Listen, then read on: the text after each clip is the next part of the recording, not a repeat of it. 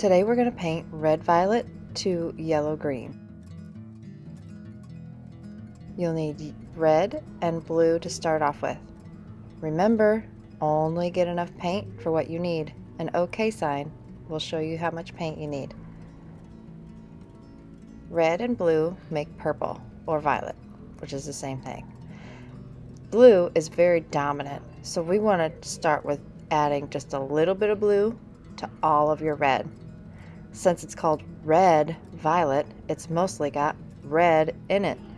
So you're just going to add a little bit of blue to all of your red. That will make a maroon color, which is basically red violet. Oh, don't forget to erase. Make sure you erase your letters if they are in your way.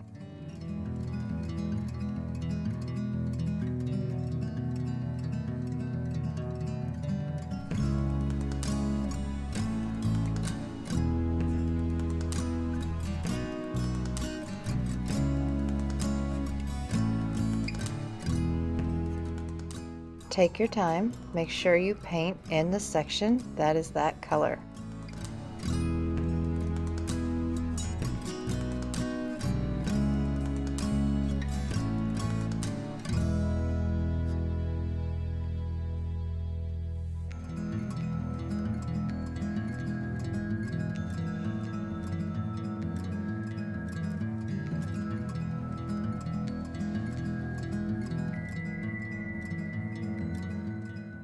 Now we've done enough color mixing with the last couple of projects in this project to know that to make our color darker, we add more of the other color. So to make violet, add more blue.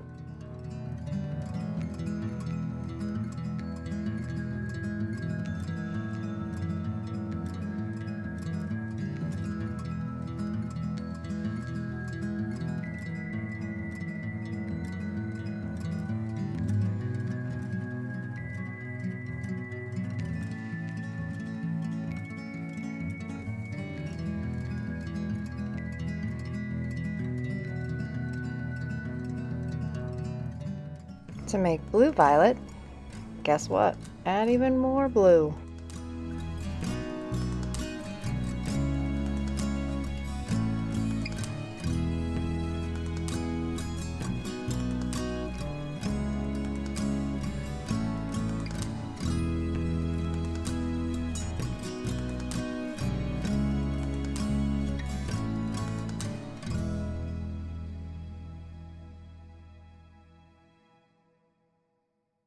Wipe off your brush, rinse it out, get all the extra water off, and paint your last color blue.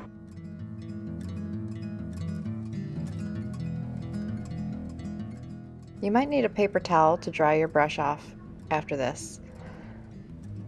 We are going to switch it up a little bit. We're going to use yellow and blue to make our greens. And we're not going to do blue-green first because that would be the opposite of what we've been doing but it is going to be kind of weird because we're going to go in the opposite direction. We're going to skip blue green, we're going to skip green, and we're going to go to yellow green because it's lighter.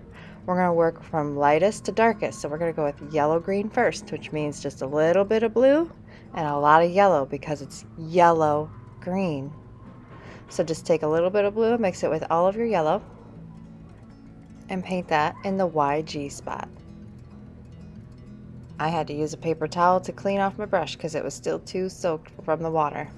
And if your paintbrush is soaked from the water, it will make your paint go all over the place. So make sure you have a dry brush as you're working. When I'm done with yellow green, same thing as I've done before, I'm going to add more blue to that yellow green to make a green.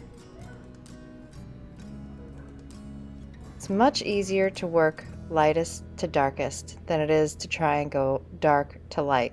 You would waste way too much paint going that way, and we're trying to conserve our paint and washing our brush. So we're going lightest to darkest.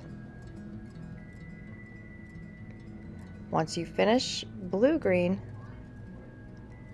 then you're done for today.